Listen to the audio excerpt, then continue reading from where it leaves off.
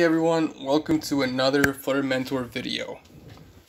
Today, we're going to go over how to make your screen scrollable or maybe a specific part of your screen scrollable. The widget I'm going to show you can pretty much handle both situations. So over here on the right, what do we have? We have a list of 10 list tiles, all colored differently. The only thing that, that changes is the number of, of the list tile, nothing else.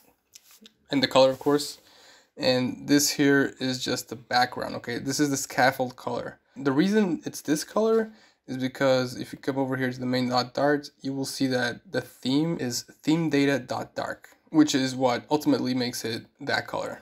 So I advise you to play around with the themes and I will in the future create a video about it as well.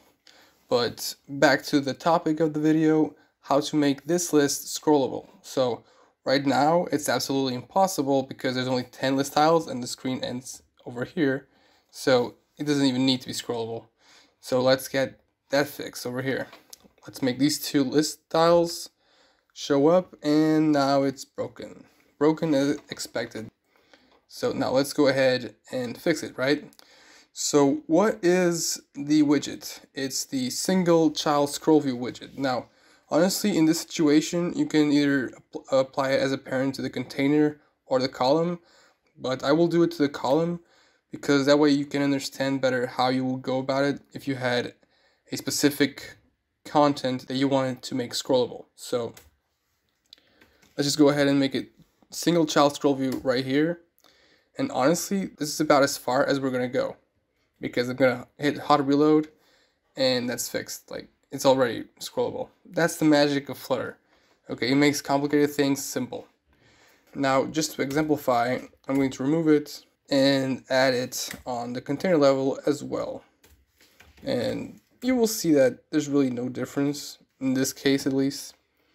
But you will find that when you create an app, this will matter. In fact, sometimes you will have your widgets so intertwined between uh, one another that you will not know where to put the single child, child scroll view. And when that happens, just experiment. And if it always crashes, then there's definitely something going. But I can't see your code because I'm just making this video. So I advise you to just Google search and figure it out for yourself because that's exactly how you'll you'll become a true programmer. So this was a very short video this time without anything further to add. This is Flutter Mentor and I'm out.